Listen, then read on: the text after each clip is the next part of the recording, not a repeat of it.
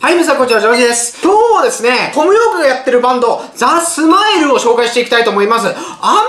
皆さん聞いてないんじゃない？いやいやいや、ちょっとちょっとちょっと。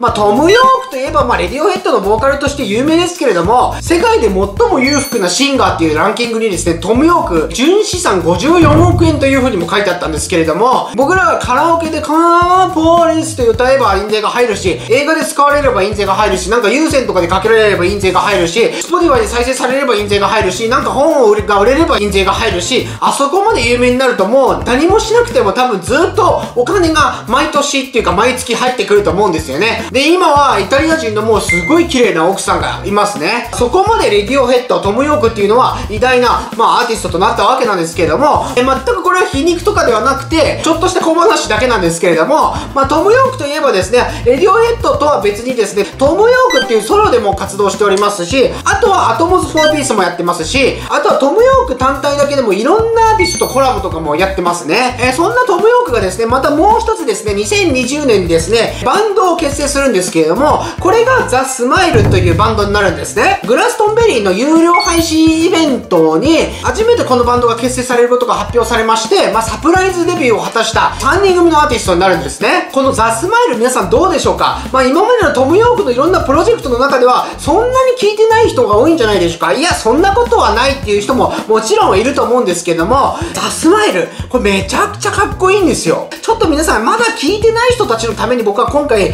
ザ・スマイルマイルの紹介動画を撮っていきたいと思っております。で、ザ・スマイルはですね、3人組のアーティストになるんですけれども、レディオヘッドのトムとジョニーと、あとドラマーのトム・スキナーが入って3人組のグループになるんですけれども、この3人になると、トムとジョニーがすごくもうインパクトが強すぎて、このトム・スキナーが少し影に隠れがちなんですけども、このトム・スキナーっていうドラマーすごい人で、まずサンズ・オブ・ケメットっていうですね、イギリスのですね、ジャズバンドがあるんですけども、これのドラマをやっていて、マーキュリー賞とかにもノミネートされているめちゃくちゃかっこいいバンドがあるんですけども、ぜひ、あの、聞いたことない人、ま、めちゃくちゃかっこいいのでおすすめなんですけど、まあ、これ2022年にもう解散してるバンドなんですけども、素晴らしいアーティストなんですね。あとは以前にメルト・ユアセルフ・ダウンっていうですね、またこのイギリスのバンドで、西アフリカのアフロビートとか、ジャズとか、ロックとかパンクとか、もういろんな要素が入ったバンドにも以前在籍していて、あとは、ハロー・スキニーというですね、また個人プロジェクトもやってて、あとトム・スキナー名義でも活動してて、他にもマシュー・ハーバートとか07とか、フローティング・ポイントとか、フィン・ピーターズとか、いろんな人ともコラボしている、まあ、すごいドラマーなんですね。ネットとかでは鬼才っていう風にも書かれたりもしてましたね。まあ、そんな3人で組まれているバンドになるんですよ。まあ、ジョニーとトムって結構仲良くて、なんか相性すごい良かったですよね。このまあ、ジョニーとトムにプラスでこのトム好きなっていう人が入った3人組のバンドになってるんですよ。このバンドがですね、2022年に、あ、ライト・フォ・アトラクティング・アテンションっていうアルバムを出すんですね。で、これプロデューサーもナイジェル・ゴッドリッチがやってて、まあ、ジョニーもトムもいるし、トム・スキナーもいるし、まあ、素晴らしいだろうと、僕も期待をしてて、いざ聞いてみたんですけれども、まあ、これはもう本当に僕個人の感想ですよ。ファーストアルバムは期待してた以上には、なんか、すごいかっこいいなっていう感じはなかったんですよね。 Speech Bubbles っていう曲はすっごいかっこよかったんですけども、それ以外は僕はそんなに響かなかったんですよ。お前何言ってんだっていう感じになるかもしれないですけども、まあ、あくまでも個人的な感想として、なんか僕はそんなにかっこいいなとは思わなかったんですよね。で、まあ、ザ・スマイルってまあこんな感じなんだというぐらいでもう終わってたわけなんですよ。そして今年2024年にですね、セカンドアルバムの、えー、発売が発表されたんですけれども、今回はプロデューサーがナイジェル・ゴッドリッチではなくなって、サム・ペッツ・デイヴィーズっていう人になったんですね。この人はフランク・オーシャンの Blonde とか、あとはレディオヘッドの Moon Shaped Pool とか、ロジャー・ウォーターズの The Wall とかでレコードエンジニアをやってた人なんですね。で、4月にですね、コンフィデンザっていう映画が公開されておりまして、それの音楽をトム・ヨークがやってるんですけれども、で、そのプロデューサーもこのサム・ペッツ・デイビースがやってますね。で、まあ、ファーストアルバム、まあそんなにすごく僕の中では好印象がなかったんですけども、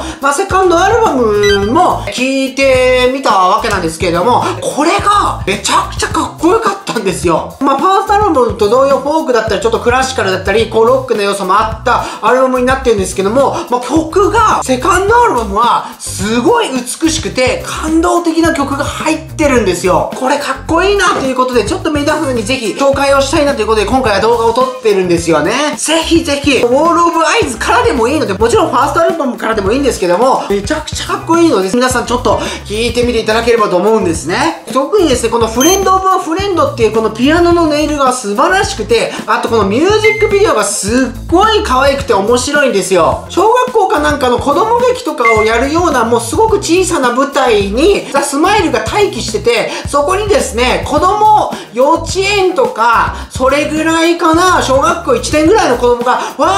ーって入ってくるんですよ。で、ザ・スマイルのメンバーがすごい真面目な顔でこうやって子供たちを見てて、で特段笑ってないんですよ。トムとかもピアノにちょっとこう寄っかかって、少しこう、見下ろしてる感じなんですよね。で、全く笑ってなくて、で、子供たちが入ってきて、ザ・スマイルが、フレンド・オブ・ア・フレンドっていう曲をですね、演奏を始めるんですけども、子供たちがその演奏している姿が、要所要所にこう動画で出てくるんですけども、すっごい真面目に聴いてる子もいるし、もうすごいもう飽きちゃってる子供もいるし、なんか鼻くそをじってる子供もいるし、足をちょっと前に引っ掛けて置いてるような子供もいて、もういろんな子供のリアクションがザ・スマイルの曲とともに見れるんですけど、この子供たちの純粋ななんか反応がめっちゃ可愛いのと、あとこの曲のもうピアノの音色これはジョニーが考えたのかわからないんですけども、この曲も素晴らしいんですよね。で、最後曲が終わりましたらですね、子供たちから大歓声が上がるんですよね。